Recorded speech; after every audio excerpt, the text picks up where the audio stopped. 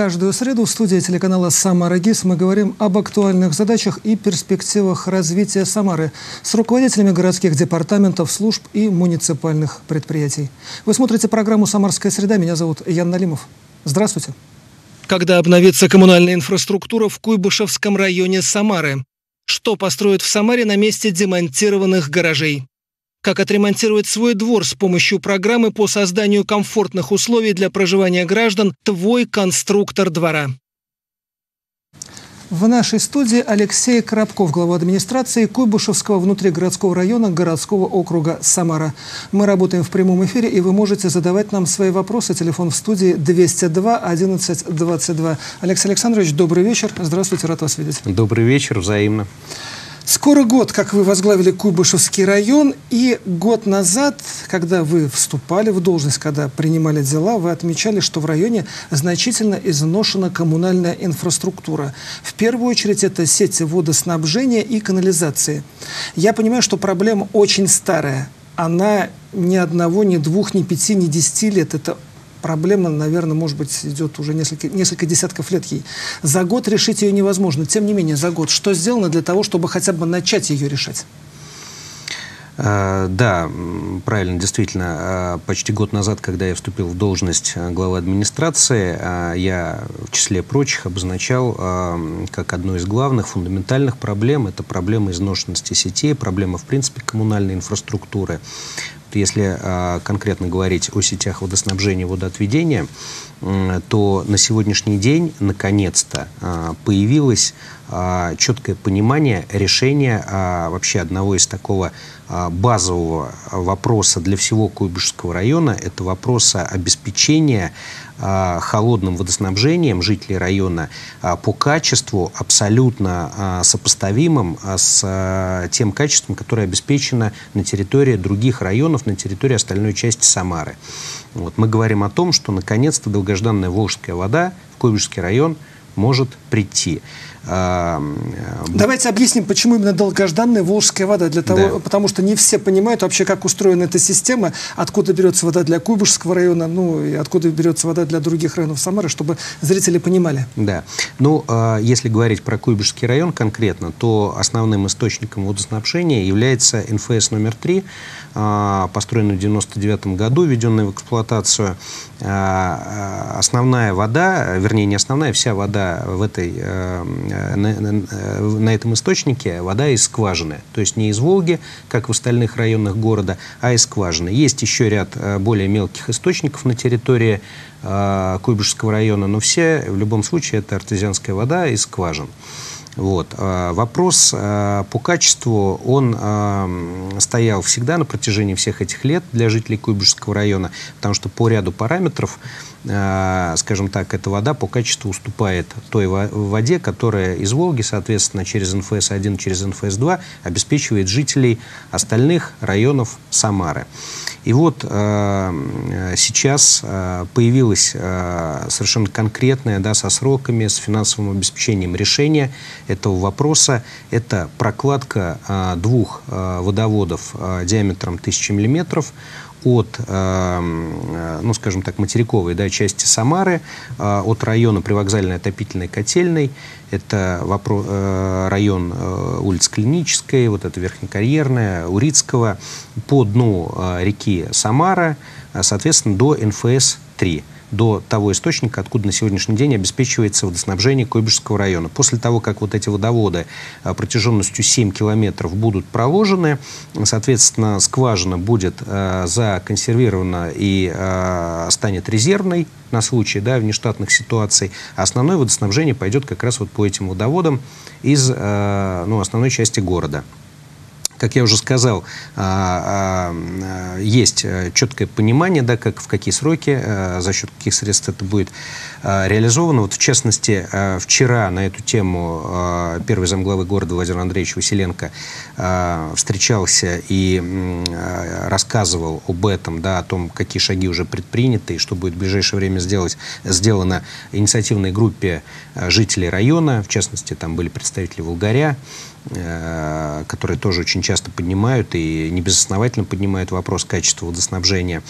Уже осенью этого года будет заказан проект на эти работы. И э, если все сложится хорошо, то э, к 2023 году вопрос водоснабжения будет решен. Вот. Э, общая стоимость этого проекта порядка 2 миллиардов рублей, конечно, достаточно существенно. Но Это есть, очень серьезные да, но, деньги. Но, но, но, но есть понимание. Дело в том, что э, на протяжении всех этих лет да, вопрос он двигался, э, решался, велись проработки различных альтернативных э, решений. И одним из э, решений альтернативных, да, которое Э, ну, соответственно, сейчас, да, ушло там на второй план. Это была э, прокладка э, водовода протяженностью 45 километров от МФС-2. Естественно, ну, мы понимаем, да, в разы дороже. 7 километров и 45 это совершенно, э, совершенно другие объемы работ, совершенно другие объемы финансирования, совершенно другие сроки. И поэтому вот э, реализуя этот проект, действительно, возможно, в кратчайшие сроки, уже там к 2023 году, э, очень острую проблему, проблему ни одного поколения жителей Куйбышевского района решить раз и навсегда. Более того, там с перспективой решения этого же вопроса для жителей Волжского района, для жителей Новокуйбышевска, потому что это в перспективе, в том числе межмуниципальный проект. Естественно, э, все это э, э, про, проработка да, этого проекта э, велась по поручению губернатора Дмитрия Игоревича Азарова. Он, разумеется, в курсе вот этой вот острой проблемы, потому что еще там в бытность главы города он, естественно, ну, отлично знает город, э, понимает. И вот, э, как я сказал, да, осенью уже будет заказан проект, соответственно, год на проект, и еще два года это на уже реализацию строительно-монтажной работы.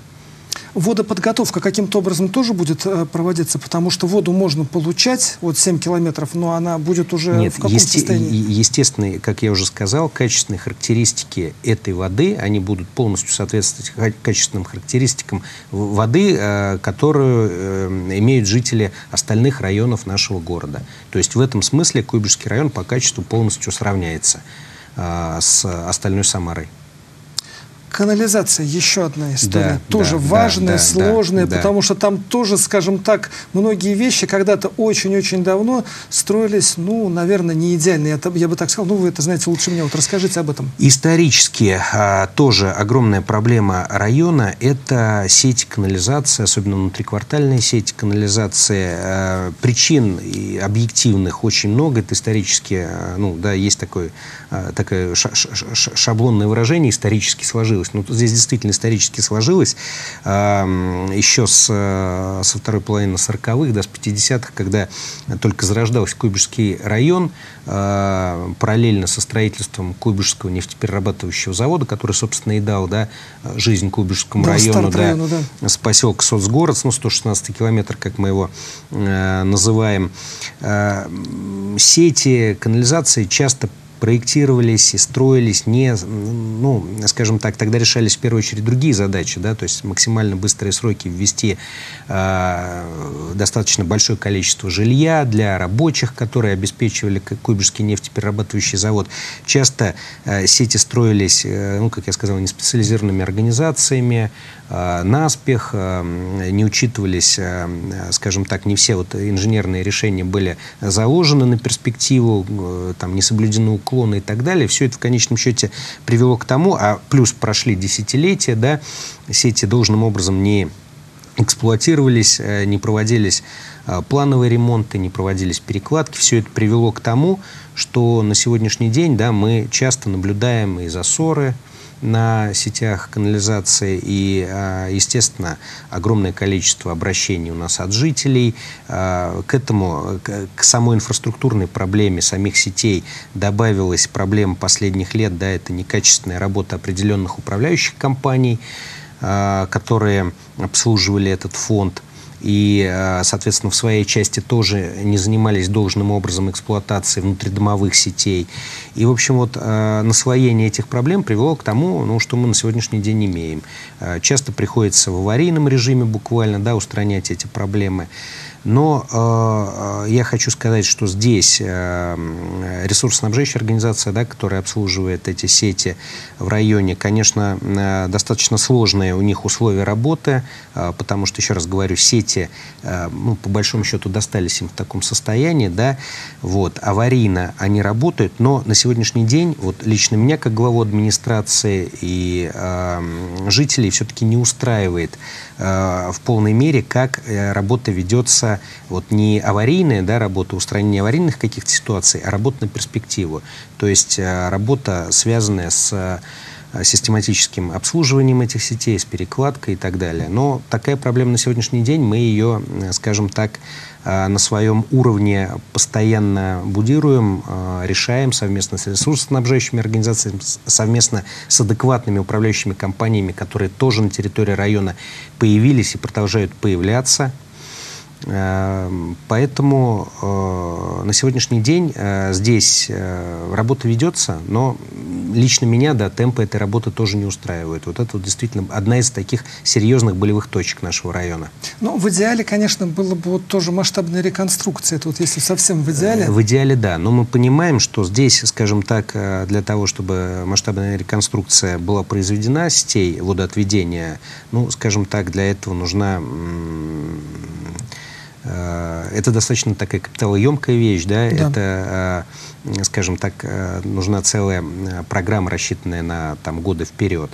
Этой работой однозначно нужно заниматься, да, и мы со своей стороны всячески мотивируем, да, ресурсоснабжающую организацию в частности. Вот. Но на сегодняшний день мы Э, решаем вот наиболее острые ну, здесь понятно. вопросы. Тот вопрос, о котором мы да. только что говорили, о водоснабжении, и слава богу, что он будет решаться, конечно, потому что это, да. конечно, не, самая не, острая проблема. Не, не, не все сразу. Еще раз, вы правильно в самом начале отметили, что все эти проблемы э, имеют свои корни там десятки лет э, в прошлом. И, конечно, э, очень важно понимать, что Куйбышевский район, он исторически был э, самым окраинным районом, да, и, может быть, в сфере благоустройства, в сфере коммунальной инфраструктуры, культуры э, в прошлые периоды да, не такое внимание ему было уделено, как э, центральным районам города, как, ну, в принципе, остальным восьми районам города, которые в том числе инфраструктурно очень здорово модернизировались, преобразились в период подготовки к чемпионату мира.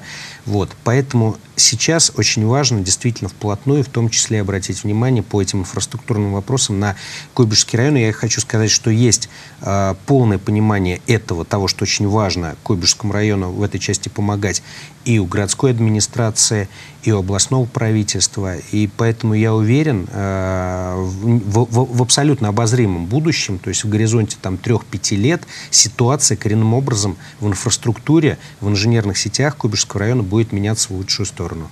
Но я вижу, что вы, скажем так, нацелены на результат, просто и не, не намерены спокойно наблюдать Однозначно. вот эту историю. Алексей Александрович, сейчас очень жарко. И самое время думать о зиме, думать да. о морозе. Вот как район готовится к зимнему периоду, который рано или поздно настанет? Да, сейчас э, самая, скажем так, активная фаза э, подготовительного этапа. Э, в принципе, у нас, э, вот, что касается вопросов отопления по району, э, каких-то таких э, глобальных проблем никогда не было. Вот в этой части более спокойная ситуация. Э, мы в плановом режиме готовимся, э, ресурсоснабжающие организации, управляющие компании в своей части. Э, мы, как администрация района, да, там управляющие компании, проверяем на готовность. У нас до 15 сентября все потребители тепловой энергии на территории района должны получить Э, акты готовности к зиме. Мы здесь никаких принципиальных э, проблем не видим. Все идет в плановом режиме. Но я еще хочу обратить внимание, вот вы э, сказали, да, что почти год уже я в должности главы да. администрации, и как раз год назад... Я когда конце... готовился к эфиру, я на это обратил да. внимание, да, что, по сути дела, есть о чем говорить как раз. В конце августа я вступил в должность в прошлом году, и как раз я определял на тот момент три основные задачи на вот остаток года 19 и среди вот этих трех основных акцентов как раз выделял, это уже был конец как раз подготовительного этапа к зиме, э, чтобы вкатиться э, плавно в зиму, без всяких э, проблем, и чтобы зиму пережить с точки зрения отопления абсолютно равномерно. Я хочу Александр, сказать, прошу что... прощения, у нас есть звонок, мне подсказывают. Давайте, Давайте пообщаемся со зрителями, затем продолжим. Алло, здравствуйте, говорите вы в эфире и представьтесь, пожалуйста. Здравствуйте. Здравствуйте. Здравствуйте. Нина Николаевна Кистанова. Я старший по дому по Бакинской 32. У меня вопрос такого порядка. Вот год назад, даже больше, с канализационных колодцев были украдены крышки. И вот представляете, все эти колодцы до сих пор открыты. Ничего У нас себе. и дети бегают, и все. Куда не обращалась. И даже к монету по водным технологиям обращалась. Да? И вот это открыт у нас пожарные где это, вот гидрант, даже в, мили, в, эту, в милицию ездил на кряж обращался, чтобы хотя бы крышки здесь и все починить. Но все без толку. Вот хотелось, чтобы вы помогли все-таки с этими. Это же может в любой момент любой ребенок провалиться. Около нашего дома четыре колодца открыты, пятый около автомобильной стоянки. И будем говорить, где магнит, там Бакинский 22, туда тоже все колодцы открыты. Ну, кто должен как-то, не знаю, куда и подаваться. Помогите, пожалуйста. Все правильно, Николаевна. А, да, это а, проблема. Ну, я хочу сказать, что эта проблема характерна, в принципе, для всех районов города. И Вы вот, имеете в виду, когда похищают крышки? Да, вопрос хищения а, крышек колодцев а, металлических, да, но мы прекрасно понимаем, что с ними, Ну, понятно, в зачем это каких целях их похищают, да, куда они в дальнейшем попадают и так далее. Это проблема даже, вот мы с коллегами из Новокуйбышевска разговаривали тоже, и у них там аналогичная.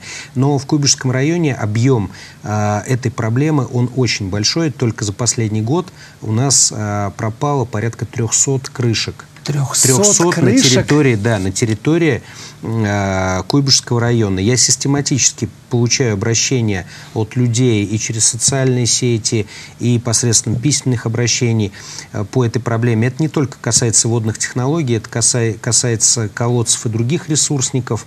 Вот. Но, э, Нина Николаевна, обращаюсь к вам. Я услышал Бакинская 36А, услышал 4 колодца у вас открыты на территории. Мы э, э, адрес мы зафиксировали, э, коллеги сейчас смотрят эфир, все записали. Ну, мы, в принципе, э, регулярно мониторим, конечно, эти адреса. Э, Временное решение, да, в виде деревянных настилов однозначно будет в ближайшее время накрыто, потому что вопрос безопасности я прекрасно понимаю, но это очевидно, да, что Ну, это такое страшно, деле. колодец, это очень страшно, да. Это пер- первично надо устранять. Вот. Вопрос установки с э, такой капитальной уже крышки, да, это вопрос ресурсоснабжающей организации. Мы с Юрием Александровичем Монетовым поговорим отдельно по этим адресам. Ну и вообще, в принципе, у нас на контроле, как я уже сказал, очень много адресов. И по 113 километру у нас есть э, Ну, 300 обещание... крышек украли. Это Э. Юрий Александрович, мы с вами обещали жителям 113 километра, в частности, до 31 июля все крышки установить. У нас уже сегодня 15 июля, то есть две недели. И вот Бакинская 36А, да, однозначно, вопрос очень актуальный, очень острый. Э, Его однозначно будем решать. Ну, а, кстати, вот у меня мысль сейчас пришла в голову. А, Я видел крышки, которые не а, металлические, а пластиковые. Это возможно? Это вообще эффективно? Потому что ведь если те люди, которые похищают, они просто могут опять это Естественно. украсть. Нет, есть решения такие, вот как раз, о которых вы говорите, да, то есть... Ну, чтоб а, просто не хотелось так, воровать. Убрать, э, убрать мотивацию тех людей, Да, которые этим да. занимаются. В принципе, такие варианты есть. Вот, к сожалению, не у всех ресурсоснабжающих организаций должным образом сформирован аварийных э, таких крышек, хотя это абсолютно в корне неверно, но это как бы факт. И поэтому э, не всегда оперативно они могут эм, вот, производить вот эти вот замены, но в любом случае это не освобождает их от ответственности, что какие-то временные решения, как я сказал, да, поддоны, там, соблюдать. деревянные настилы и так далее. Вот. э, Поэтому, да, решения альтернативные, не металлические, они тоже есть, но они тоже требуют, э, требуют закупок, требуют формирования аварийного запаса и так далее. Возвращаясь э, к теплу и к зиме, вот мы начали говорить о том, что все-таки в Кубышском районе эта проблема не такая острая. Вот э, здесь как бы все более-менее в порядке, и вы уверены, что к осени подготовитесь. Я правильно понимаю? Да, да, да, однозначно. Вообще отопительный сезон – это одна из, в принципе, э, несмотря на то, что плановая задача, да, она как бы не стратегическая, это зима из года в год повторяется, это важнейший вопрос. То есть у нас и законодательство в этой части достаточно жесткое, мы просто не имеем права оставить без тепла наших людей. Год назад э, вы говорили также о том, что вас волнует э, качество работы управляющих компаний. Точнее говоря, одной управляющей Да. компании. Я сейчас не буду ее называть. Если хотите, вы можете это сделать. Но при этом я обратил внимание, что в районе ведь есть 15 управляющих компаний. Выбор огромный. Уже 18. О, значит, у меня угу. старые данные, уже угу. 18. Ну, потому что, на самом деле, это интересный бизнес, туда многие хотят угу. прийти. Это интересный, стабильный бизнес, и как бы это как раз тот самый малый бизнес, которым, ну, грех, на самом деле, не заниматься. Вот в связи с этим вопрос. За этот год вы что сделали? Вы убедили руководство этой управляющей компании начать работать нормально? Или вы помогли людям перейти в другие управляющие компании, потому что я сам менял управляющую угу. компанию, и я знаю весь этот процесс. Он угу. непростой, он сложный. Угу. Без поддержки администрации, без консультаций, без помощи. Ну, мы не меняем вот э, с определенной периодичностью каждый год там управляющие компании. Угу. Мы не знаем все тонкости. И просто в некоторых ситуациях, даже откровенно говоря, становится страшно. Итак, вот э, что вы сделали за год? Да, э, исторически э, Куйбышевский район, э, порядка 800 многоквартирных домов, э, и исторически э, практически одна управляющая компания была монополистом в Куйбышевском районе, обслуживала Куйбышевский ПЖРТ, еще старая, э, до того, как она была продана московским Э, собственникам. Э, она обслуживала львиную часть вот из этого общего жилищного фонда. Э, там 667 многоквартирных домов у них было в управлении. Но они монополисты были вот, Да, они были практически монополистами в этой части. Вот. Последние там 2-2,5 года, конечно, появилась такая очень острая проблема, связанная с хроническим непроведением никаких вообще ремонтных работ. Более того, даже там по аварийным стали возникать вопросы, особенно вот в части кровель э, дырявых, в части э, подготовки, кстати, в том числе да, к зиме там приходилось включать дополнительные, э, скажем так, рычаги воздействия на то, чтобы компания действительно выполняла свои обязательства перед собственниками. А за год а, а, в общей сложности в другие управляющие организации, в самые разные, около 250 многоквартирных домов перешли. Из 600 с лишним. Да. Это очень прилично. Ну, там уже оставалось менее 600 да, на момент 2019 года, но тем не менее, да. А, в любом случае на сегодняшний день, то есть порядка 250, даже там побольше, а, естественно, администрация района здесь очень такой тонкий, деликатный момент. Ну, а, конечно, потому что... Частная история. Да, конечно, история абсолютно частная. Взаимоотношения управляющей компании исключительно с собственниками жилых помещений, да, ну и не живых Это частный вопрос, абсолютно частный вопрос, согласен. Доме. Более того, понятно, что любое должностное лицо от администрации района, неважно, это глава или э, главный специалист, э, называя да, какую-то конкретную управляющую компанию, предлагая жителям для того, чтобы они ушли туда, это, естественно, вопросы, связанные там, с лоббированием и прочее, прочее, прочее. Мы все прекрасно понимаем. Нельзя. Но, тем не менее, невозможно, во-первых, просто понимать, что такой объем жилищного фонда э, просто ветшает на глазах, да, э, э, стоят э, затопленные подвалы, опять же, да, понимаем, что есть и без того там проблемы с инженерными сетями, когда еще и в доме компания не обслуживает должным При образом, этом люди как я деньги говорил. платят. Люди, естественно, систематически деньги платят. А, кстати, в Кубишском районе, но ну, это тоже структура населения. Мы все прекрасно знаем, что старшее поколение, оно у нас исторически самое дисциплинированное с точки зрения вот, оплаты как раз коммунальных платежей. Ну да, они получают пенсию, в первую очередь платят да, за квартиру. в первую очередь платят за квартиру, а качества никакого в ответ вообще не видят даже близко. И, э, значит, вот э, не предлагая какие-то конкретные компании людям, но тем не менее, да, организационно помогая, где люди просили, обращались действительно за поддержкой, хотя бы да, на уровне консультаций, каким образом правильно вот. организовать собрание, вот. каким образом правильно оформить протоколы, чисто процессуально даже. Чтобы да? деньги на счету дома не пропали. Конечно. Как Это правильно обратиться в государственную жилищную инспекцию вот с этой инициативой и так Какие далее. вопросы задать управляющей компании. Совершенно Мне верно. Что вынести в повестку, что вынести в повестку. Я же этого просто собрание. не знал. Естественно. Э, и, и, и, и человек, который с этим профессионально не связан, никогда не сталкивался на практике, практике, это нормально, что он не знает. Мы, мы же не являемся специалистами во всех областях. Вот. И здесь, конечно, наша задача была максимально людям помогать. Я как пришел в первый же день, сказал, что я буду в этой части людям максимально помогать. Э, осталось, тем не менее, у нас более 200 домов на сегодняшний день в управлении управляющей компании этой же, она уже практически там, там и в штате тоже сотрудников не осталось, по большому счету. И обязательства перед подрядными своими же организациями, обязательства перед собственниками практически не исполняются. Естественно, формальная сторона этого полностью нами отрабатывается, то есть направляются обращения в компетентные органы, да, но я понимаю, что обращения обращениями, но тем не менее и зима близкая, и все вопросы, связанные с людьми, они в любом случае приходят к нам, как в администрацию, обращениями. Алексей Александрович, не подсказывает, что есть звонок. Давайте примем Давайте. звонок и затем посмотрим сюжет, потому что времени осталось, оказывается, совсем немного. Здравствуйте, говорите вы в эфире. Здравствуйте, я Наталья Ивановна, в Курском районе проживаю. У меня вот такой вопрос. Я понимаю, что много всяких проблем, все это понятно. А вот еще меня интересуют тротуарные дороги. Это невозможно хранить вот, э, на протяжении многих лет. И вот Бакинскую во дворах дорогу сделали, опять до Бакинской 26А.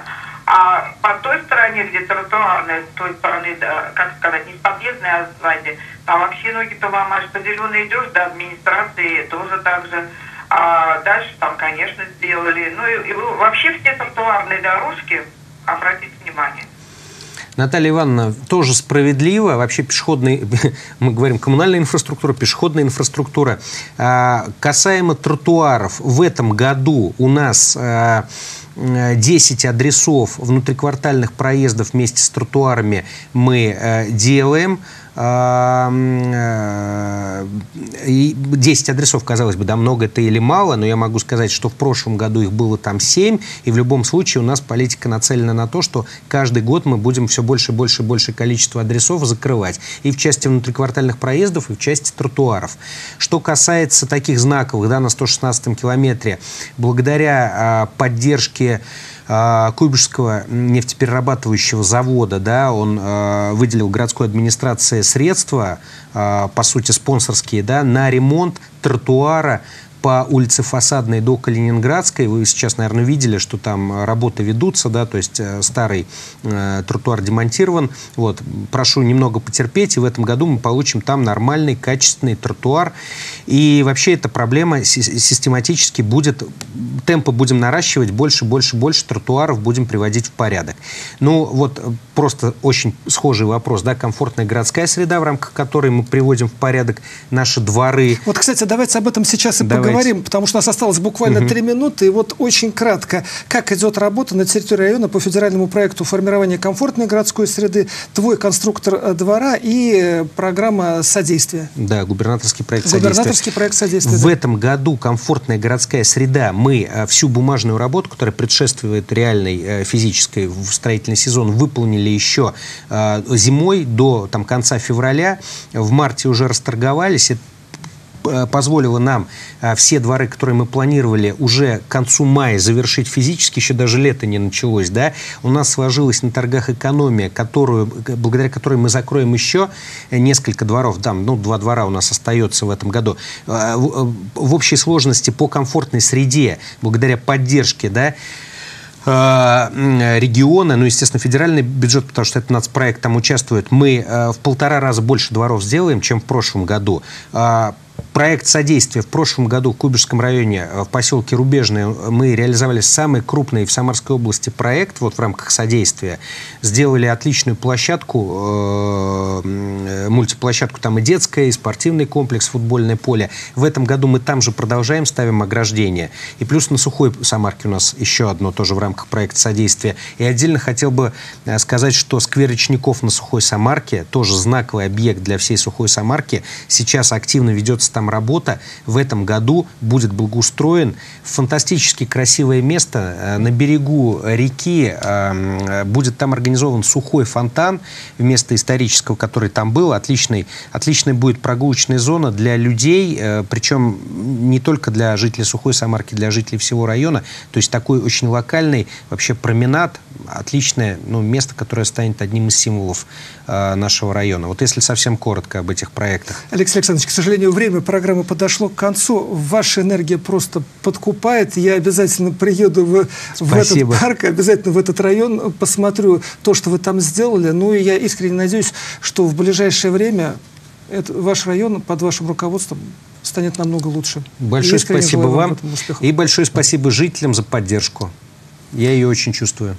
Напоминаю, в нашей студии был Алексей Коробков, глава администрации Куйбышевского внутри городского района, городского округа Самара. Удачи в делах, берегите себя. До свидания.